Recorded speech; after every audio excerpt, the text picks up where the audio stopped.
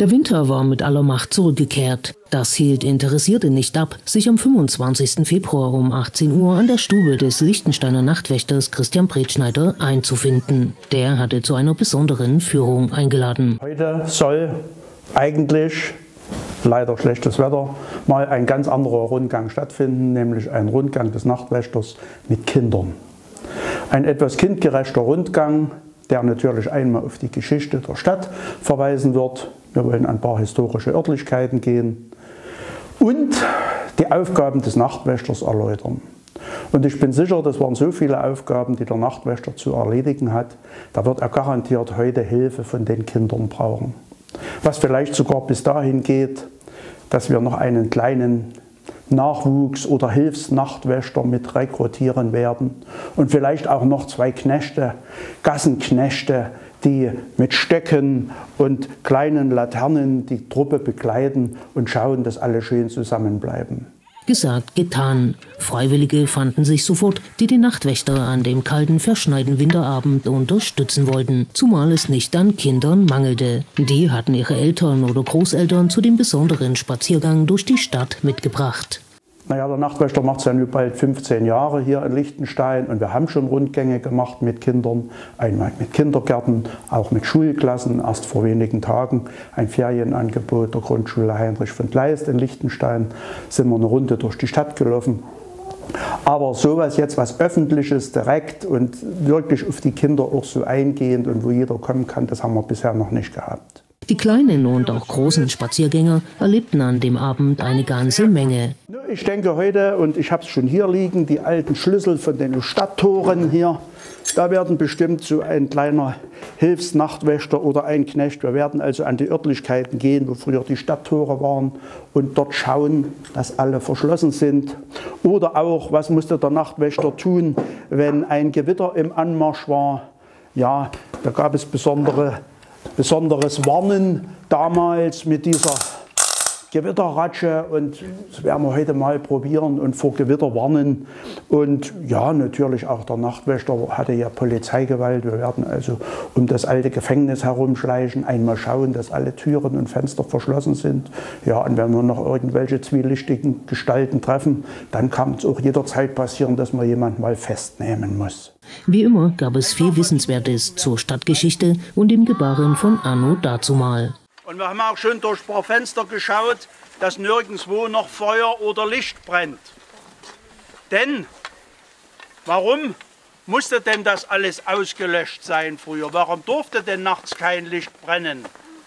Ja, du? Weil sonst Feuer entstehen könnte. Könnte Feuer entstehen. Und das war das Schlimmste, was es früher gab weil die Häuser waren früher meist aus Holz, aus Holz ganz genau. Und Holz brennt natürlich besser als Stein. Ne? Ja. Ja, und in Liechtenstein gab es viele, viele Feuer und viele Brände. Und einer war ganz, ganz schlimm.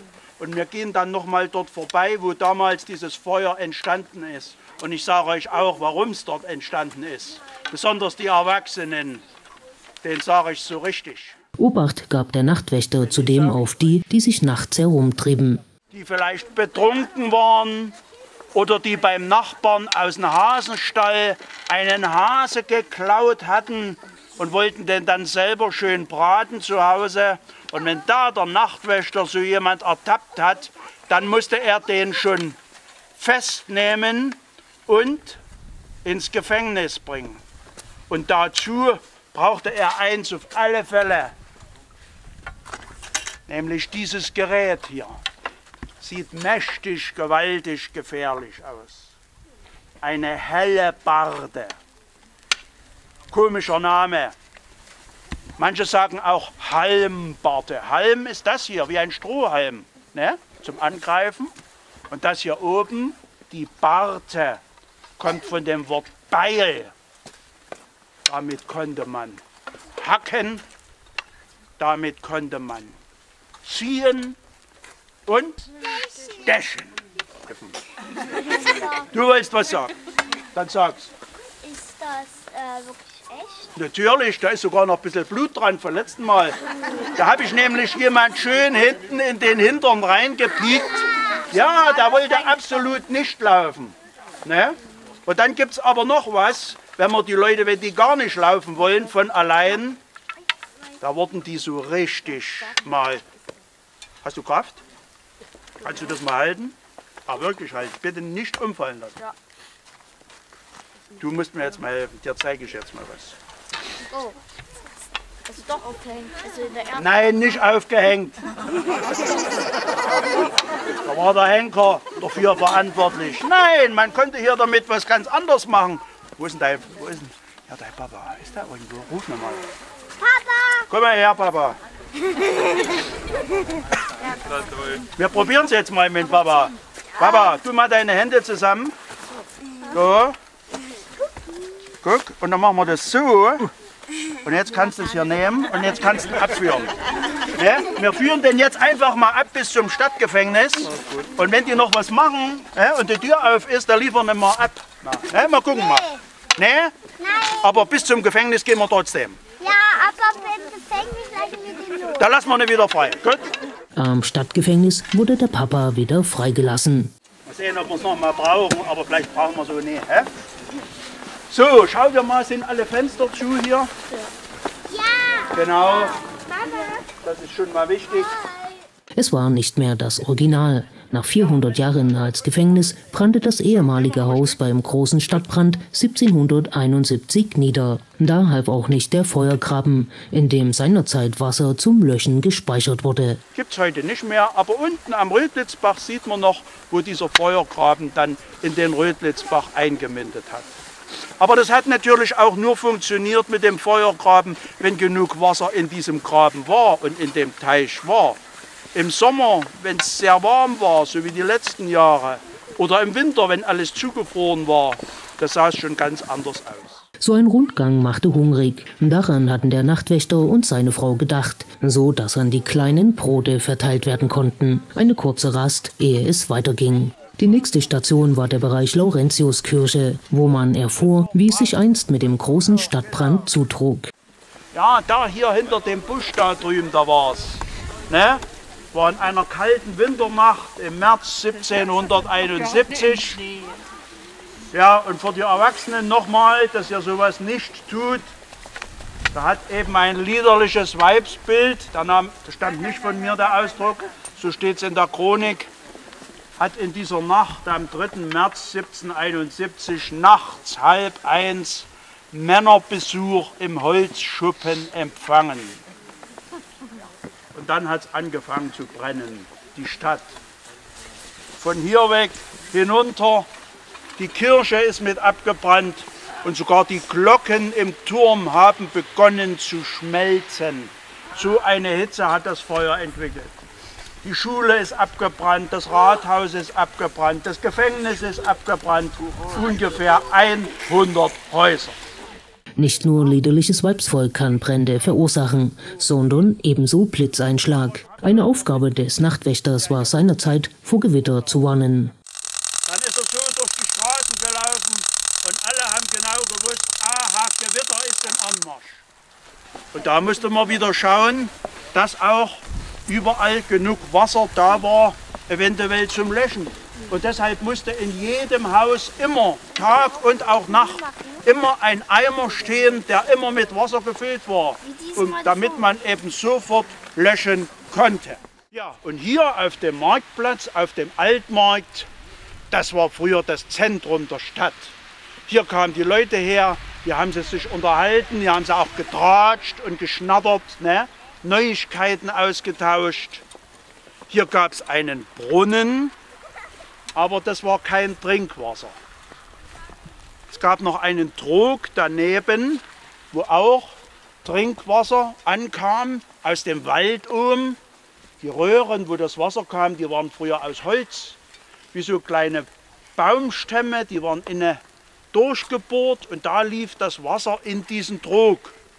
Und da musste einer immer aufpassen, dass das Wasser immer lief, dass das nicht verstopft war durch Blätter oder auch im Winter, dass es nicht eingefroren war. Das war der Röhrmeister. Der musste darauf achten. Heute haben die Menschen fließend Wasser in ihren Häusern, zum Beispiel für die Toilettenspülung. Toiletten, ein Luxus, wenn man bedenkt, wie es früher war. Bei den Menschen in ihren Holzhäusern, wenn sie mal auf die Toilette mussten. Da gab es so ein kleines Häuschen, meist aus Holz, so ein bisschen viereckig. Das war irgendwie im Hof an einer Ecke. Ne? Gab es keine Heizung, auch keine Wasserspülung. Dort konnte man sich hinhocken und ganz schnell wieder fort. Denn wenn es zu kalt war im Winter, konntest du fast festfrieren.